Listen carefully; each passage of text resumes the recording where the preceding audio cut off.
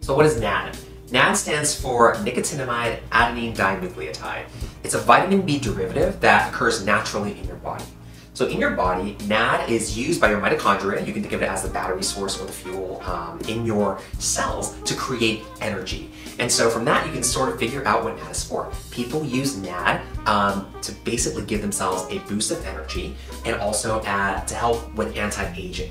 One of the things that NAD is also used for is also with addiction. So there's been a lot of recent research um, that NAD helps people who have been addicted to various different substances. On the market, you'll see practices and clinics and providers offering NAD at, you know, 100 milligrams, 250, 300, 500, 1000. On the lower end is where you're gonna be using for anti-aging and energy. At the higher end, you're gonna be using that to break your addiction. NAD therapy technically is a medical therapy and every medical therapy has its side effects and its risks. The main side effects of NAD are going to be some gastrointestinal upset like nausea and vomiting. If you're infusing it too fast, you might feel flushing. There could be some temporary brain fog as well. These things can all be decreased if you slow the infusion rate down or you decrease the dose. As far as risks go, NAD is generally considered quite safe.